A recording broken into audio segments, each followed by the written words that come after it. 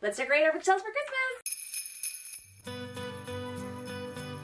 So today we are going to be decorating the bookshelves for Christmas. We are going to be adding some like ornaments and some tiny trees and a couple years ago I actually got this pink tree after Christmas. It was like 90% off or something and this is the first year I've actually brought it out of the box to use because it's the first time I've had space in my office to actually use it and this is not the best tree in the whole wide world. It is a little bit falling apart, but we're to put some pretty pastel colored ornaments on it, and we are going to decorate it, make it look all cute for Christmas, and we are going to do all the cool bookshelvy things. So, I'm pretty excited for this. It's the first time I've seen this particular tree.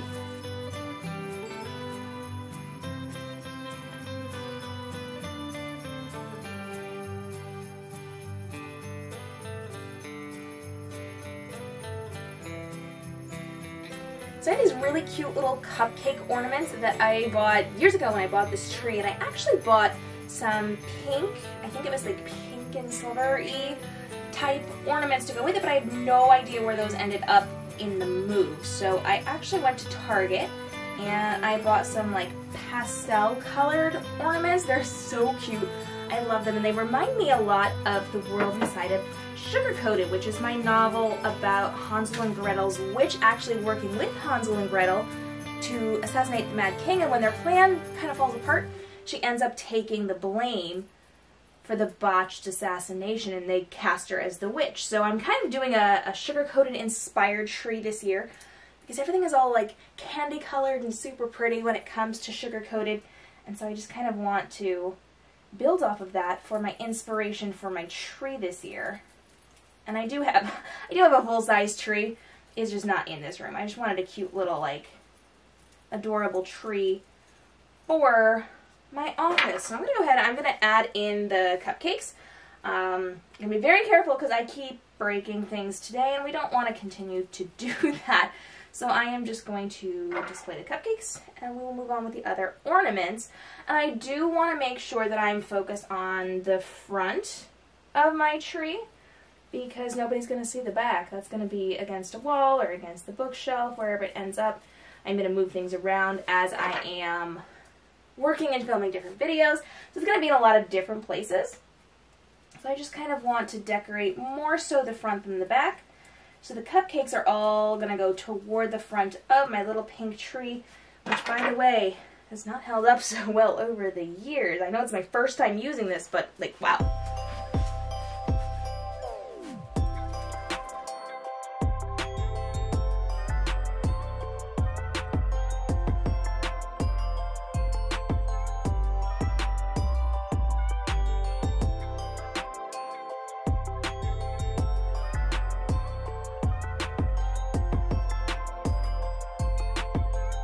So today as I'm filming is actually the day that my new Christmas short story releases. It is a surprise release and so later today I'm actually to have to do a bunch of live streams. I'm to have to tell everybody the book is out. It's currently out. It's like sitting there in all the buying platforms but people just don't know it exists yet. And so every time I film, or I film, every time I do a surprise release, the book always hits number one on the charts. And so I am testing today because usually I don't release these during like Christmas when everybody's saving money for presents. So we'll see how it does in sales, but I think because it's time sensitive, it'll actually do pretty well. So we're gonna do some live streams for sure on Instagram. We're gonna do one for sure on TikTok and then we may do some behind the scenes on YouTube and Facebook as well. So I do have to do some live streaming today to kind of promote that and talk about that and show that off for everybody. So I'm really excited for that. But I wanted to make sure we got this decorated first, especially since I can then use it as a background for my videos later. I like there's a lot of blue. Like, the, of these ornaments, there's just a lot, a lot of blue, which isn't a bad thing. I just feel like there's a lot of it. So I'm just like, right now, just like looking for places that have kind of like gaps over on this side, and then I'm gonna check over on the other side because we gotta do that side too. Make sure everybody is getting an even chance here. And let's see. Oh, I don't know where I want to put these. I'm like looking for spots that are bare, but also there's a lot of pink in this general area, so I wanna make sure, ooh, there's a sparkly green one. I don't think I've used a sparkly green one before. Let me go ahead and put that one right there. Oh, that kind of, that kind of looks nice. I like that. And so then I'm just going to maybe add another green one up higher, I think, just to kind of balance it. It's a little, I say a little, I mean it's very hard to see on this tree. There we go. I don't think they gave me enough hooks for all of these. I think that, um, think that I have less hooks maybe than I do cute little ornaments, though I don't know. We'll have to, have to take a look. Okay, let's switch the other side. Oh yeah, we need a little work over here. So we're just gonna keep going, getting all these decorated. Now I am gonna be putting like small little trees up on the bookshelves. I am to be putting um, maybe some jingle bells. I've got some Christmas mugs that we're to be using, which will be a lot of fun. And I'm just going to kind of fill in some of the gap space on the bookshelf. So I'm not really taking anything away. I'm just kind of adding in some Christmassy vibes. And then if I have time, I actually have right over there, there's a fireplace inside of my office and I think I might I think I might decorate the mantle there. I haven't quite figured it out. It's, it's built for propane, so I can't even put anything inside. Like it's a fake little fireplace, um, but we don't use propane because allergies. And so I just kind of have a like a space where I could put candles and like all the cool stuff, but I can't because they took up all the space with the wiring for the propane. So I'm kind of where I am with that. But I think I may if I get the chance before I live stream. I may even decorate the mantle for the fireplace and do my live stream from there. Oh, that'd be so cool. What do you guys think? Let me know. Should I start to do some of like my Christmassy vibe live streams in front of the fireplace? I want to hear from you. Get down in my comments and let me know. And since you guys are watching this after the fact, let me know. Did you pick up a copy of Saving North? for the surprise release. Did you guys check that out? Do you like it? Are you excited for the series? I'm pretty excited for it because it's a six book series and it is all about the different holidays. So like after this one it's New Year's and then Valentine's Day and then you've got St. Patrick's Day and Easter and Halloween for all of those and it's just one of those like really cool series where you can read it as a standalone or you can read it as a series but it doesn't matter what order it is because it's all about the different girls doing their different part of saving their world. It's kind of fun. And there's so many swoony men in that one. Oh, I love it so much. It is fantastic. I'm super excited for, oh no, for the release of, for the release of this series. It's gonna be a lot of fun. And I'm just kind of like looking for gaps where pretty things can fit in there's a lot of like concentrated white in certain areas on this, like the glittery white orbs. I want to add in some blue. I don't know. I wish there was a little more, a little more variety. It looks like a lot of variety, but now that I'm seeing it all together, it kind of sort of looks like it's it's just like a lot of the same. But that's okay. Because it's kind of, it's turning out cute, so I, I can run with this. Maybe I do have enough hooks.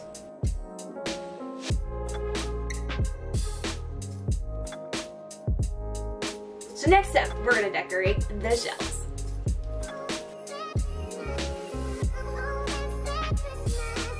My next step is to add in a bunch of like really big ornaments and I'm just gonna kind of find cute places for them to go.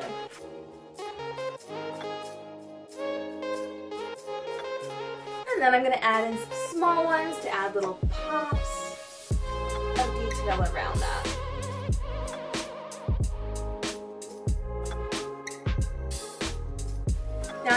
Little collection of Christmas trees. They're just like little wooden things. I got them in the dollar bins at Target. And I really kind of like them together. So I could space them out if I wanted to. I could even, like how cute would that be around my tree?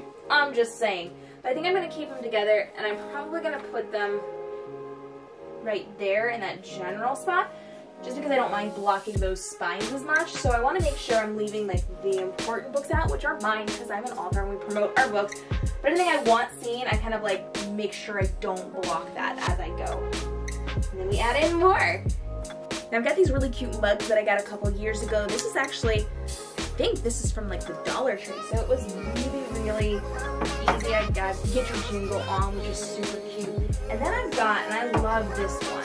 This is chocolate made here, and it's not specifically Christmas, but it is from um, Gertrude Hawk Chocolate, which is a big chocolate factory up where I used to live in Pennsylvania. And every other year, they actually used to do a factory tour, and it was the most amazing thing because you would go in, and you'd have to wear a hairnet, you would have to wear booties on your shoes because you were in a factory that made food, so like health regulations. And so you would go in and you would climb up like the big staircase inside and then you would go over and you would um, actually get to walk around and you would get to collect candy. So they gave you a bag and at every station you got to like pick up samples. So they made like smidgens and they do like the candy for ice cream and just like all the things. And it is so good. And if you guys are fans of The Office, you know The Office takes place in Scranton, Pennsylvania. They are from Pennsylvania, right in that general area over in Dunmore, which is right next to it. And so if you look at the vending machines in the office, you'll often see Gertrude Hawk candy bars, which that's not a thing. Those do not go in vending machines. That's just not realistic at all. But you could see them in the background and they would sometimes eat them on air. And so we would go to the chocolate factory, and at every station, they were like doing different tasks. So like boxing things, or they were like making things, or covering things in chocolate, or like all the cool things. And so we got to actually experience all that and then get samples from all of them. And they had a costume decorating contest. So each of the different stations or the sections could actually come up with a theme. And then at the end, the viewers, the people who got to walk through, got to vote. And then they won like a pizza party or like some kind of cool prize for their decorative stuff. And it was just so much fun. And, and like they would have um, a factory sale across the street at the outlet, the factory outlet for the candy store. So they had like the factory, then they had the outlet, and they had stores throughout Pennsylvania, or the northeast Pennsylvania anyway. And um, you could go meet Santa, and you could get like super cheap, overrun stuff, and like all the cool things. And I, I, I kid you not, there was a time when I had gone to this factory tour and I was leaving and somebody pulled up in a limo to go to the candy factory tour. And so they brought a limo. They were all dressed up and they went in to the candy factory tour. It was like the coolest thing ever. And so every other year you got to go see all the workers dressed up with their different themes and their costumes and you got to vote. You got like huge bag of candy when you walked away from it. And they've recently changed it. They actually have a new factory now and it's more automated so less people. So it's a lot less fun now. So I don't go to it anymore because I don't live there anymore, but it's not quite as fun as it used to be. But this is from the Gertrude Hawk factory, and oh, just so many good memories there. So this is definitely, for sure, going up on probably right around here. We'll give it a little place of honor there that's tucked away behind the tree so y'all can't see it. Let's put it, actually, better yet, let's put it here by sugar coated because that's a really good place for that to go because candy. I do have, I don't know why I've got it in there, but just like the little decorations. And so we're going to go ahead and we are going to start filling this in a little bit. So my star definitely is not going to fit on top of my tree, but I'm thinking I may put one of my bows there. So I got some really pretty purple bows to kind of go with my tree back when I first bought it a couple years ago on clearance. And I, I'm such a big fan of like purple and pink together because we're going all candy inspired this year. We're just to run with it. We're to put a purple bow up on the top. So I'm just fluffing this out as we go. I found my tree skirt too, so we're to add that in um, around my tree. I don't know if you guys can see it where you are, but it's to be really cool. I'm just fluffing out my bow here. I've got a couple of these, but we're just going to run with, with this particular set. And we're just to fluff it. And I got to wrap this up soon because I have to go do live streams for you guys to tell you about Saving North. So we're to we're to get ourselves on over there and do all that. And we're just going to tie this on. Oh, that's cute. I like that. Um,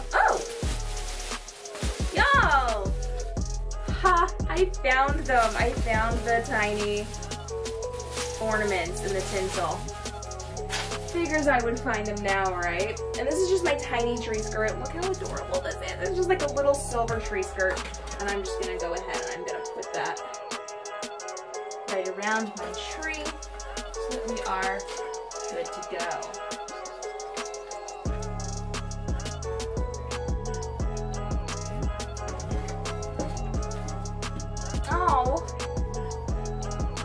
That's adorable. I love that. So then, I also have bells that I can be putting out places and I've got bows. So I think I'm just gonna kind of spread them along my bookshelf and I'll be good to go. These are like, this might be, this might be a project for later. It's a little bit um, tied up, but I've got some loose ones too. So I'm just gonna kind of spread them out. Um, I got a bunch of green ones all in one section, so I am going to kind of move these around a little bit.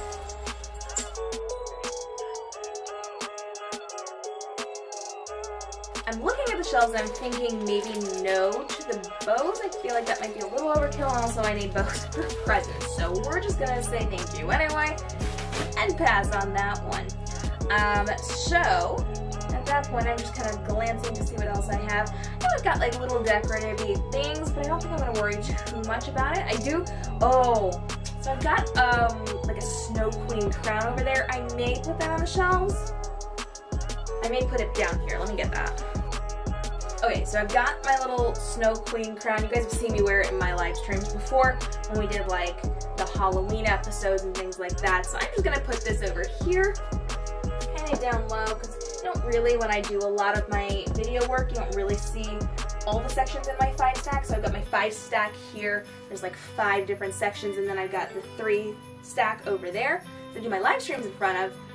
But when I do this, I usually zoom in a little bit so that you see more of the face, and so you don't always see the end caps on here, so I don't decorate them as much. But like, how dang cute is this? So I'm recommending, when you do something like this, I'm recommending like cute, bookish colors if you're gonna be like designing your tree after a book, and you wanna go like pastel, I definitely recommend going with sugar-coated inspired vibes, guys, just saying.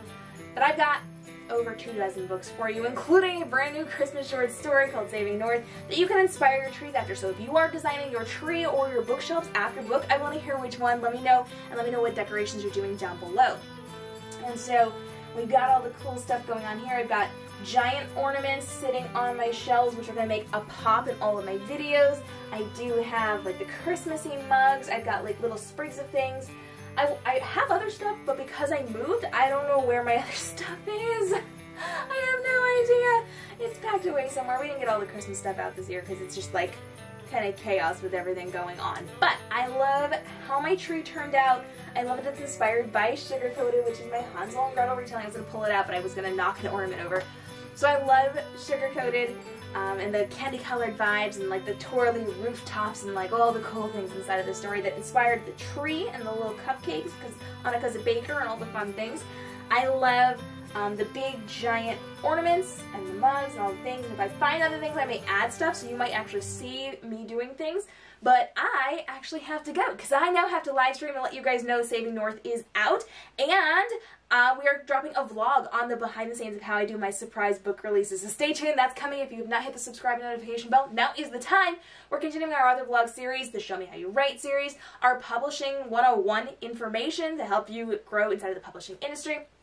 We're doing our replays of all of our live streams on Instagram and on uh, TikTok, as well as the live streams on YouTube and on Facebook. We are answering your questions. We're doing behind the scenes, live book readings, all the fun things, and I can't wait for you to hang out with me more. So make sure you hit that subscribe notification bell. Let me know what is your favorite part of my bookshelves. Is it my tree? The colors on my tree? Is it the giant ornaments? Is it like the jingle bells. Let me know what your favorite part is, and let me know how you're decorating your bookshelves for Christmas or the holidays this year. I'll see you in the next vlog.